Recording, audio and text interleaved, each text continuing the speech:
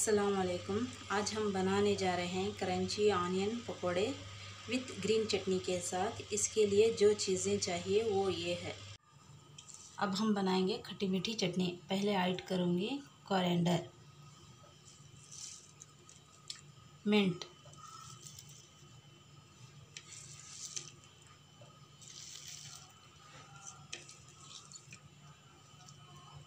और green chilli.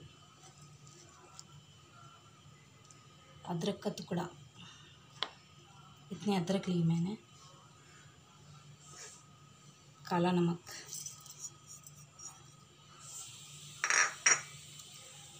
शक्कर।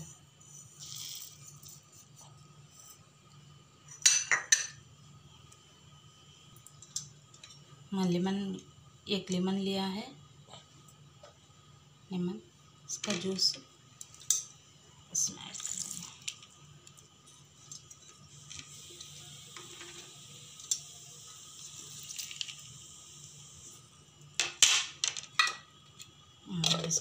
देखिए मैंने अच्छे से ग्रीन चटनी बना लिया है।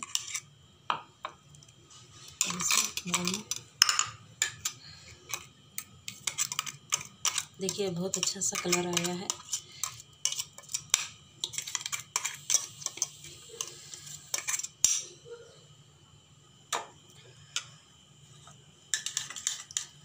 अब इसमें ऐड करूँगी दही।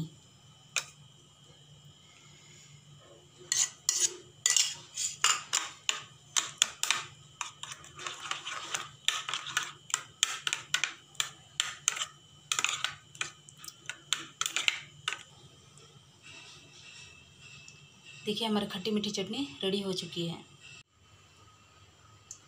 मैंने बेसन लिया है ऑनियन कट करके लिया है, हरी मिर्च, पुदीना कोरिएंडर नमक और बेकिंग सोडा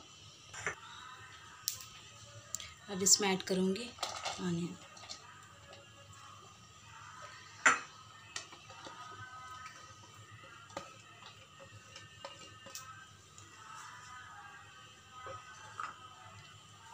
पुदीना।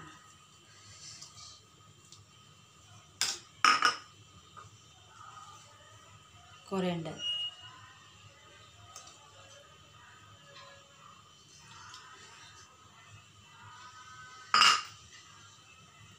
Green chilli.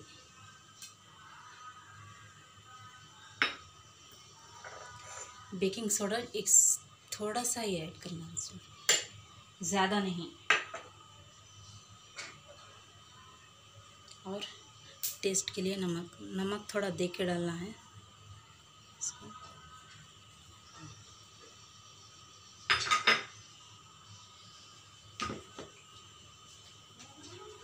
अच्छे से इसको अब देखिए, इसमें बेसन ऐड कर रहे हैं।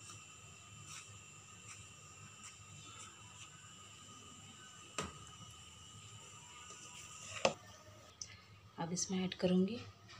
पानी थोड़ा थोड़ा करके ऐड करना है इसको। देखिए, मैं थोड़ा थोड़ा करके ऐड कर रही हूँ।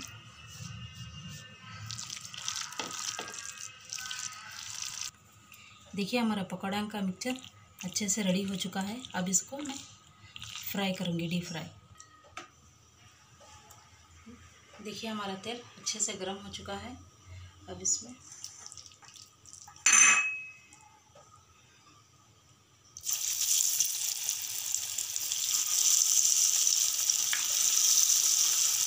ये बहुत अच्छा बनते हैं। बारिश के दिनों में शाम में बैठ के खाने के लिए चाय के साथ।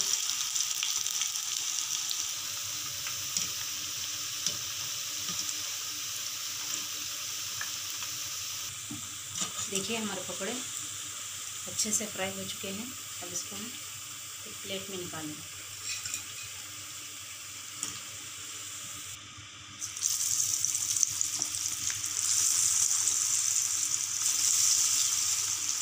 इसमें इसमें पुदीना डालने से बहुत अच्छी खुशबू आ रही है।